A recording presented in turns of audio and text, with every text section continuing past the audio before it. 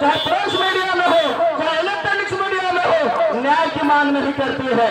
लेकिन आज वही लोग हमारे झारखंड के भोले भाले जनता को अगर चांदी से लेकर रांची तक आप नहीं चेते तो हमको गृह मंत्रालय का भी दरवाज़ा भारत सरकार का खटखटाना पड़ेगा कि हमको दोनों बच्चों को न्याय चाहिए, उसके परिवार को न्याय चाहिए। भाई तो बहनों, स्थिति बद से बदतर हो। स्थिति गंभीर हो रही है।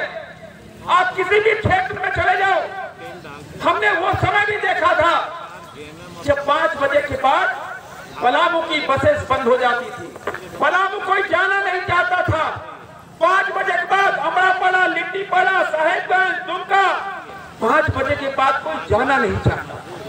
हमने वो समय बाद में देखा। कि रात में 12 बजे, एक बजे आप पलामू जाओ, गढ़वा जाओ बांकी जाओ, अमरापाड़ा जाओ, लिट्टीपाड़ा जाओ। आप दुमका जाओ, साहेबगंज जाओ, देवघर जाओ। हमने उस समय भी भाजपा की सरकार में देखा था कि रात बार रात भर भी आप जिन क्षेत्रों में जाओ, कोई कानून व्यवस्था की स्थिति कहीं कोई खराब नहीं थी। हमने वो करने की बात करते हैं। हमारे नगरी जैसे गाँव में, हमारे पंद्रह साल से कम उम्र के बहनों के साथ अत्याचार हुआ। रांची में डेली आप लोग प्रेस मीडिया के माध्यम से एक दिन के धरने में सरकार की निंदा टूट जाएगी? देखिए हमको राजनीति नहीं कर रहे। हम नौ महीने तक बहुत इंतज़ार किए। सरकार को समय देना भी ज़रूरी था। चुनी हुई सरकार है। मुख्यमंत्री बैठ रहे हैं मंत्री बैठ रहे हैं। समय देना ज़रूरी था। अगर हम पहले करते तो आप बोलते कि भाई अभी सरकार आई अब शुरू हो गए। कोविड का काल था। हम समय समय पर उचित मंच पर उठाते रहे। चाहे वो नागरिक सुविधा हो हमारी बेटियों की सुरक्षा हो, व्यापारियों की सुरक्षा हो, सहायक पुलिसकर्मी की सुरक्षा हो, चाहे शिक्षकों की समस्या है, हम हमेशा हमारे पार्टी के कार्यकर्ता गाँव, टोला, पंचायत से लेकर राजधानी तक सक्रिय रहे। लेकिन अब तो हद हो गई।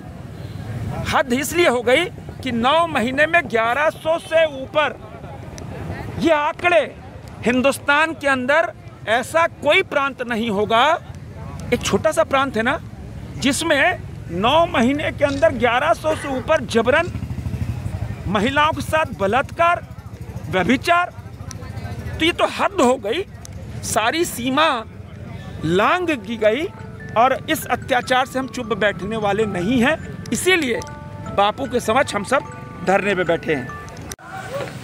यह सरकार पूरी तरह विफल और हम कह सकते हैं परसों मैं ईचागढ़ में था।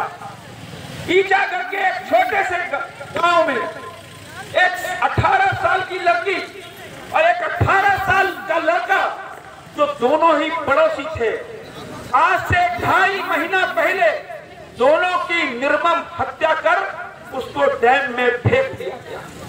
जब हमने आवाज़ उठाई तो पुलिस ने केस दर्ज किया, बोला, ये आत्महत्या है आत्महत्या को करार देकर इस केस को रफा दफ़ा करने की कोशिश की गई। मित्रों जब हमने फिर दबाव बनाया तो उन्होंने कहा एसआईटी गठित कर रहे हैं। एसआईटी गठित किए एक महीना हो गया, लेकिन अभी तक कोई रिपोर्ट नहीं आई। लेकिन रिपोर्ट पोस्टमार्टम की रिपोर्ट मित्रों आ गई पोस्टमार्टम की रिपोर्ट में बिल्कुल साफ़ है, इन दोनों बच्चों की हत्या हुई है।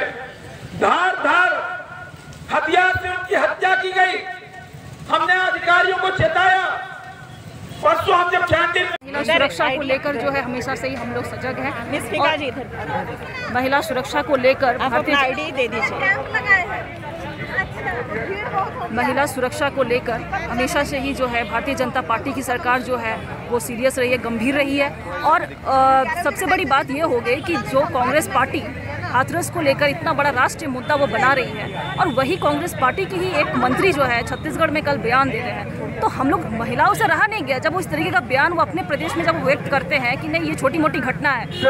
आपके शासित राज्य में आप सब लोगों को जानकारी है दूसरे राज्य कि में ये ये बहुत झारखंड बड़ी मुक्ति मोर्चा का इसी का सरकार विरोध हमें करने वाले सिर्फ़ जनता को कांग्रेस का जो चरित्र है करके उसको सामने झारखंड के खजाना को है। सभी लोगों को एकजुट करती है। वहाँ भी गिरिडीह जैसे क्षेत्र में भी हमारे सभी माता के साथ में दुष्कर्म हुआ। उसमें हमारे कांग्रेस के लोग झारखंड में